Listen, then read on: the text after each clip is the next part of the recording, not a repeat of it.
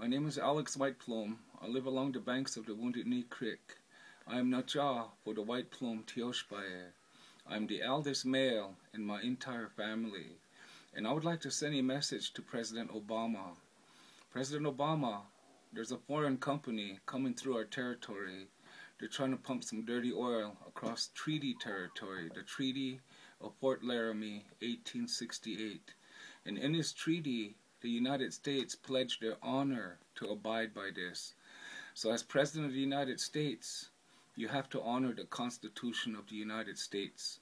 Please read Article 6 of the Constitution of your country and come down here and meet with Chief Red Cloud so we can establish a protocol to address treaty violations.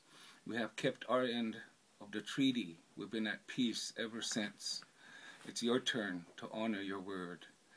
That dirty oil they're trying to pump across our land is another act of genocide. No one came down here to meet with Chief Red Cloud or any of the other treaty consuls to come barging into our treaty territory. We mean to protect our treaty territory because we know that treaty is real. Congress passed it, the president signed off on it, and we're not going to let them build this dirty oil across our land because we need to protect our water for the future generations of our children that are yet to come. So I'd like to ask you humbly, please honor your Constitution and please keep your word because we have, for the last 144 years, been living under this treaty. And it takes two to make a treaty, and it takes two people to break the treaty. It's time to sit down and just discuss this. So I'd just like to ask you humbly, please honor your Constitution and please respect the Treaty of Fort Laramie, 1868. Alex, is there anything else you'd like to say about Keystone XL and its impacts on your homeland? Um, there's a foreign entity, they're digging up the grounds on the Lubicon Lake Nation up there in northern Alberta, Canada. And these people still live the traditional way. They hunt moose, they eat salmon, they eat deer.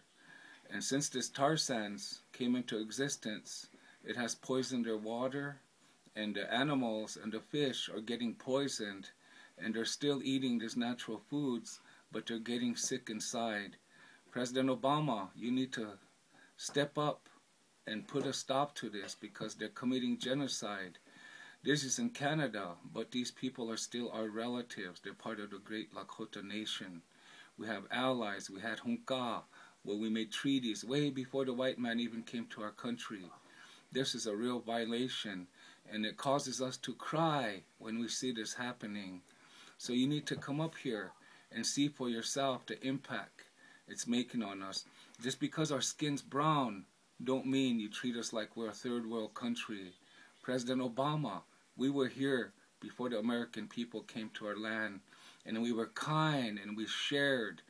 And in our kindness and sharing, all we received, received was genocide, massive killing, germ warfare, and today it's oppression. It's time to stop.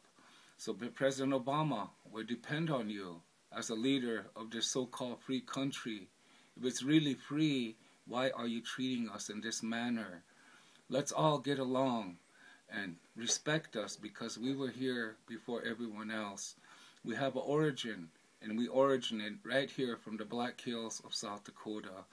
So we need your help today. No one else listens to us. The media blocks us every time we say something important. It's time somebody listens to us. Maybe you are that man to finally have compassion and to hear our words because we've been talking to empty ears. And one day we know somebody will listen to us. So we want you to come down here and meet with us. And if you respect the treaty of 1868, you're going to bring honor back to this country. The Germans, they dealt with what they did with the Jewish people. Australia dealt with the Aborigines. People are doing this all around the world. If you don't do this, we're going to have to solve this in some manner, sometimes down the future. So we're asking you to finally step up and be a man and be a leader around the world in human rights. This is what we'd like to ask you, President Obama. Thank you, Alex.